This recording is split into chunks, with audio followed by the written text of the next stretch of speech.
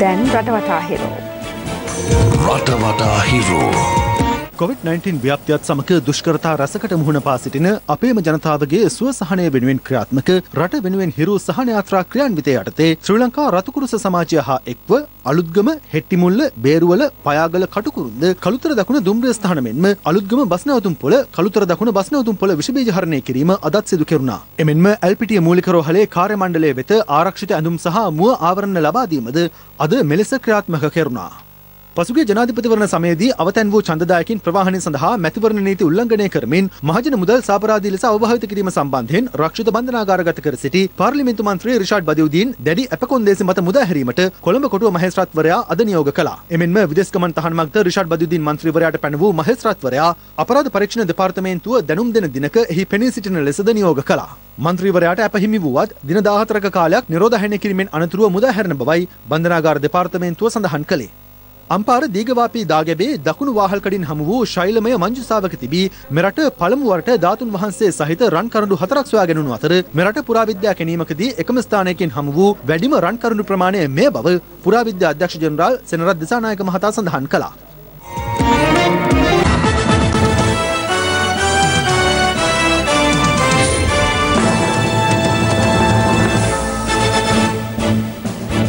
දැන් හිරු ක්‍රඩා තොරතුරු.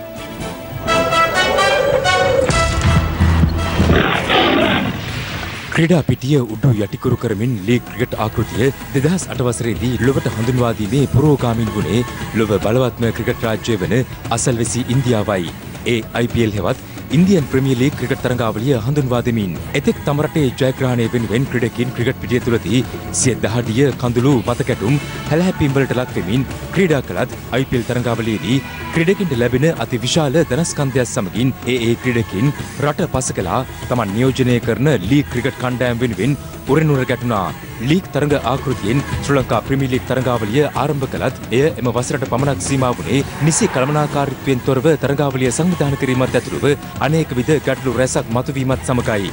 මේ අනුව දහසක් පෙරුම් පුරාගෙන මෙම වසරේදී ලීග් ක්‍රිකට් ආකෘතියෙන් ලංකා ප්‍රීමියර් ලීග් තරඟාවලිය ක්‍රිකට් බලධාරීන් සංවිධානය කෙරුවත් අවස්ථා කිහිපයකදීම එය කල්දමනට සිදුවුණේ කොවිඩ් අවදානම හේතුවෙන්. නමුත් සූරිය වැව මහින්ද රාජපක්ෂ ක්‍රීඩාංගණයේදී ජෛව ආරක්ෂිත බුබුලකට යටතව තරඟාවලිය හෙට සිට ලබන මස දහසය වනදා දක්වා පැවැත්වීමට කටයුතු සම්පාදනය කරන්නට ක්‍රිකට් බලධාරීන්ට මෙන්ම සෞඛ්‍ය අංශයටත් හැකියාව ලැබුණා. කණ්ඩායම් පහක සහභාගීත්වයෙන් දින 21ක් පුරා දිගහැරෙන මෙවර LPL තරඟාවලියට තුලත් සමස්ත තරඟ සංඛ්‍යාව 23ක්. තරඟාවලියේ සභාරම්භක උළෙල හෙට පස්වරු 6:50ට වීඩියෝ තාක්ෂණ ඔස්සේ පැවැත්වීමට නියමිත අතර සමහරම්භක තරඟයේදී කොළඹ කිංස් සහ කැන්ඩි ටස්කර්ස් හෙට රාත්‍රී 8ට තරඟ බිමට පිවිසෙනු ඇති.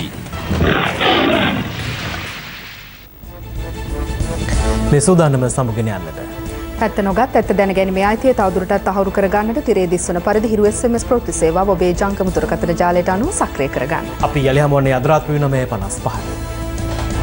ආයිබෝවන්